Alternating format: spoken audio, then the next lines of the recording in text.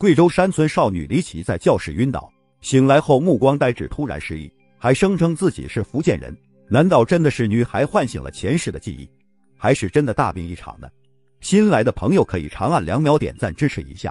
咱们接着往下讲。贵州的辉水县一个苗族小女孩名叫吴琴，在一夜之间成了大家关注的焦点。原因就是在她的身上发生了一系列让人匪夷所思的事情。在学校学习成绩很好、多才多艺的女孩身上到底发生了什么事情呢？几个月前的一次课堂上，除了老师的授课，四周一片安静。这时，一位女孩突然站了起来，大叫一声。这时候，吴琴竟然晕了过去。看到她晕倒了，同学们连忙把她送到学校的医务室。过了三十分钟，吴琴醒来了。吴琴竟然不认识周围的任何人，这可把同学和老师吓坏了。老师就问问她家里的位置，吴琴还是迷茫的摇摇头，表示根本不认识，还表示自己的家在福建。难道真的是穿越了吗？罗老师一听到就懵了，好好的学生怎么就在这样了呢？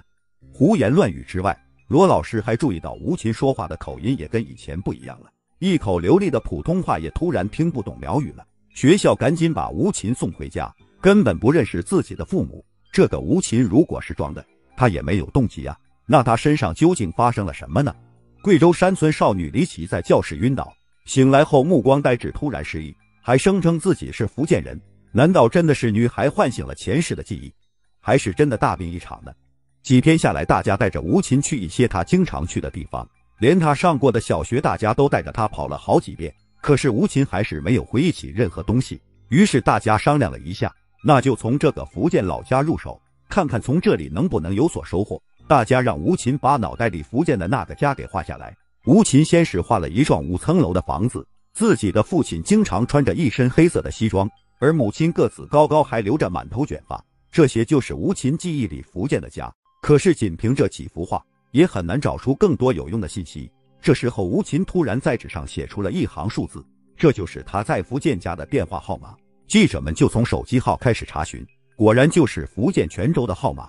虽然这个号码是个空号，然而这个空号并不代表不存在，而是有可能以前有，现在被人注销。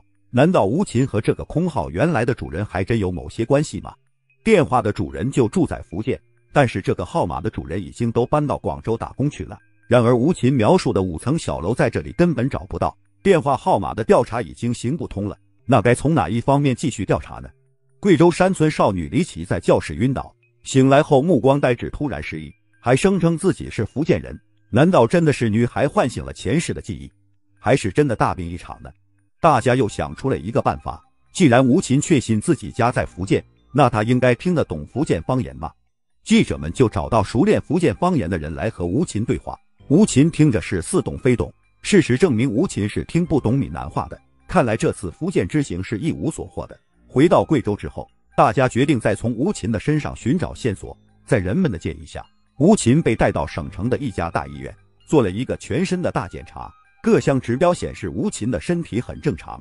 可是，一个健康的女孩又怎么会无缘无故的失去记忆呢？语言的改变，甚至失去记忆，这种种奇怪的现象，可能来自同一种精神疾病——癔症。实际上，在专业术语上就叫自我为中心。但是为什么会就单单认准福建呢？这时候，吴琴的妈妈想到了一件事，就是在两年前，有一个小伙子来到吴琴家推销洗发水，还送给了吴琴一瓶洗发水。而这个小伙子就是在福建生活，特别喜欢和吴琴讲一些福建的事。未来充满幻想的少女听到山外那个花花世界的时候，她心里会是怎样的向往和憧憬？故事到这里就结束了。欢迎大家在评论区之内说出自己的看法，长按点个赞，你会发现惊喜。你们的支持是我创作的最大动力。我们下期再见。